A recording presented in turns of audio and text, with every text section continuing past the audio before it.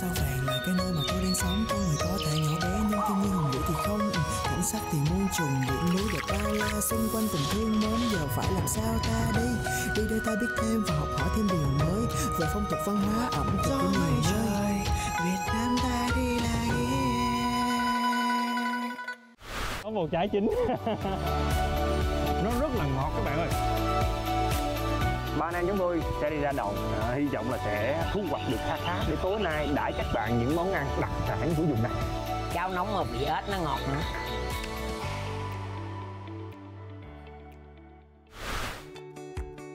Xin chào các bạn khán giả, Nhật Trường đang có mặt tại thị trấn Sa Rài, huyện Tân Hồng, tỉnh Đồng Tháp. Nơi đây ngày xưa là dùng sâu dùng xa mà, thành thử ra là đời sống nó cũng chưa có phát triển. Nhưng mà ngày nay tốc độ phát triển đô thị hóa nhanh khiến cho vùng này đã thay da đổi thịt rồi. Và hôm nay Trường có mặt ở đây là vì một lời mời của một người anh ở địa phương. Anh ấy nói nhân mùa nước nổi sẽ mang đến nhiều điều bất ngờ và thú vị dành cho các khán giả của Việt Nam đi là ghiền. Vậy thì nó sẽ như thế nào? Khám phá thôi nào!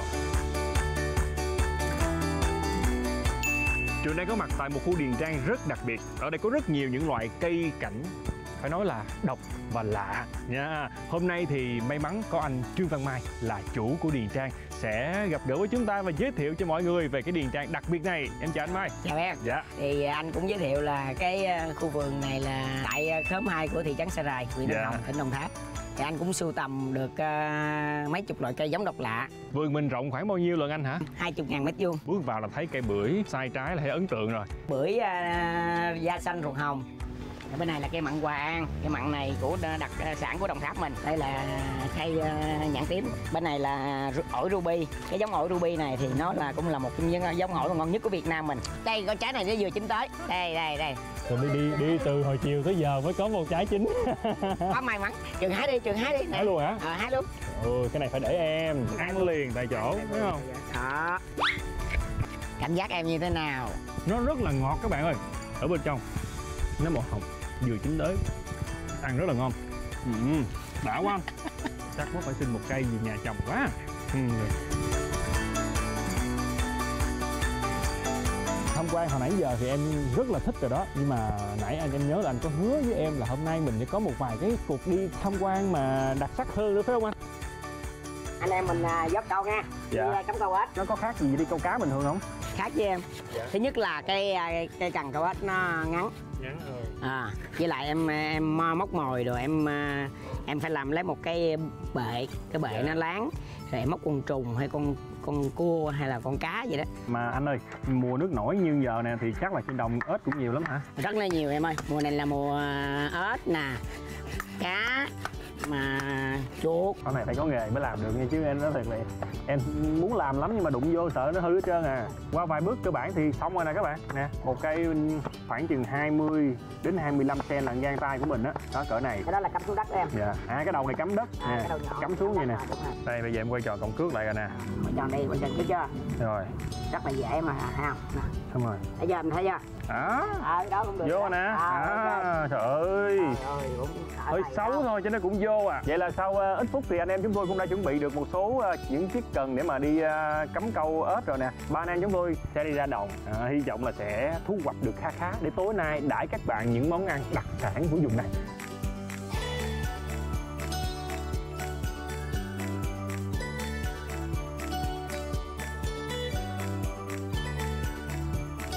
cái móc cái sình lên để tạo cái môi trường tự nhiên đó. Mình mới đặt cái con mồi lên. Móc con cá linh vô tép con gì cũng được đó. Khoan khoan khoan anh sai anh sai anh sai anh đây anh để đi để đi để em xuống cắm thử coi. Đây móc sình lên đắp vô đây. Vuốt cho láng vậy nè giờ con cá đã móc vô rồi. Ghim xuống. Rồi ok ha. Chút nhớ ăn nha. Giờ anh em mình à, đi thăm à, câu nha không dính này hy vọng cái sau dính nha. Dạ. Ơi ơi cái này có có một con nè? Ôi ôi à. Đây đó nè, đây đó nè. Có không? Ê, đây, đây, ê, có, có, có, có. Trời ơi. Kìa, kìa À, à, Ê, con này, con này bự anh, con này bự, con này bự. Ôi ôi, ôi ôi, ôi ôi đây, đây là con ếch chiến lợi phẩm của anh em chúng tôi. À, mới vừa câu được. Ôi ôi, ôi ôi, nó còn dãy, nó dãy nhanh nhanh anh sang sang, nó dãy, nó dãy. Ủa, con này hụt uổng lắm nha. Ui chà, con này là bự nhất nãy giờ rồi nè. Ồ, bỏ vô, bỏ vô liền, bỏ vô liền bỏ vô liền. Các bạn thấy đó trời tối rồi đúng không? Hồi nãy à, chiều đẹp trời bên kia không? Cái mình đi mình à, cắm câu. Giờ tối nè trăng thanh gió mát nè không? Cái mình đi mình dỡ câu. Thu hoạch được một à, số lượng cũng khá khá. Nhưng mà hơn hết đó các bạn thấy đó không gian này nó yên tĩnh mình chỉ nghe được tiếng ớt nhái nè không? Tiếng uh, dế kêu thôi chứ không có bị ồn ào không bị gì hết. Đó nói nói xíu dính thêm con nữa rồi nè. Đây là một trong những cái trải nghiệm phải nói là rất là tuyệt vời luôn. Cảm ơn hai anh quá đã.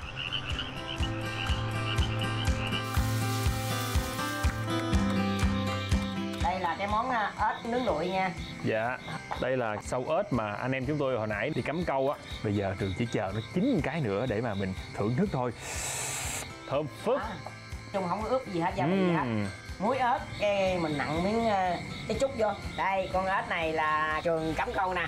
Đó. Ôi ôi, ôi ơi ú quay luôn. Nóng quá, nóng quá, nóng quá. Quá.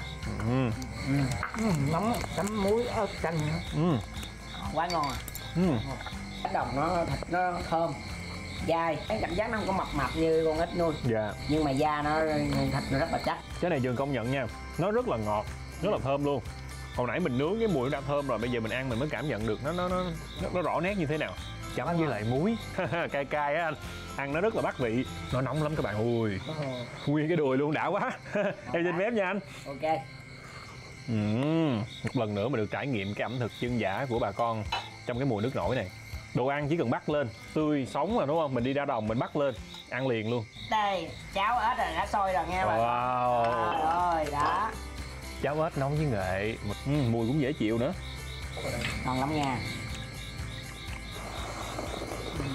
Nóng quá nóng quá nhưng mà húp vô nó đã ghê anh ơi. Dễ cảm em ơi.